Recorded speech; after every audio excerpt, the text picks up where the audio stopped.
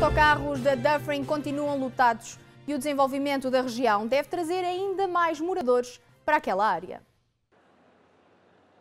Levam apenas alguns minutos para que as paragens do TTC na Dufferin Blue fiquem lotadas de pessoas esperando por um autocarro. E muitos deles já vêm lotados. Para apanhar as bases, a gente às vezes tem que caminhar.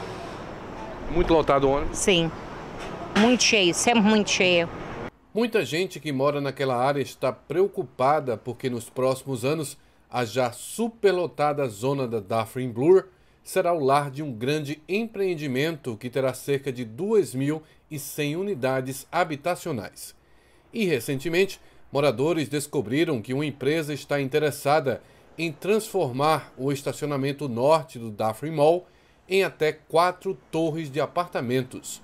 Enquanto isso, Outra construtora recebeu a aprovação da cidade de Toronto no ano passado para construir seis edifícios, onde está localizada hoje a Galeria Mall e um centro comunitário. Com isso, mais pessoas para aquela área e provavelmente mais autocarros lotados. Ah, eu não uso muito, mas quando eu uso sempre está muito cheio.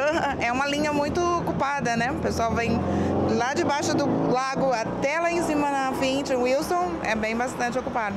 Dufferin Blur são marco zero para o boom do desenvolvimento. Moradores locais temem que trânsito, estradas, parques, escolas e infraestrutura local possam não ser capazes de suportar o fluxo planejado de futuros moradores para a área. Os moradores dizem que às vezes o serviço de autocarro é esporádico, com esperas de 10 ou 20 minutos, seguidos por dois ou três autocarros que chegam em fila. Este senhor mora na zona e confirma. Olha, é, ainda agora passou um uh, mais que lotado. Uma coisa horrível lá dentro, tanta gente. Há uns com, com muitos e outros com pouco. Vem um atrás dos outros, é assim. Melhorou esses anos ou não? É, um pouco. O que é que você acha que precisa para melhorar? o que é que eu ia fazer? Eu não estudei para isso, meu velho. Não, precisa colocar mais, mais autocarro, fazer o... Isso é do, é do governo, é do governo é que comanda, não é, não é, é o governo. A gente paga para isso. A vice-presidente da Câmara Municipal de Toronto, Ana Bailão, disse em entrevista para o Toronto Star que vem pressionando o TTC desde 2016 para analisar o serviço de transporte na Dufferin.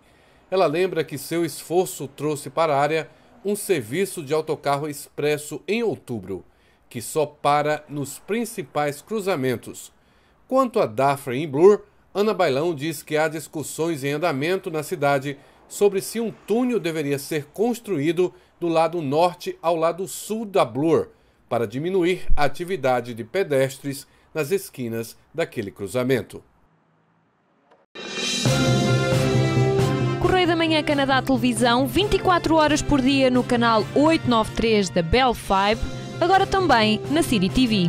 Todos os domingos, entre as 11h30 e o meio-dia, acompanha CMC TV com reportagens da comunidade, entrevistas, entretenimento e muito mais. CMC TV agora também na City TV.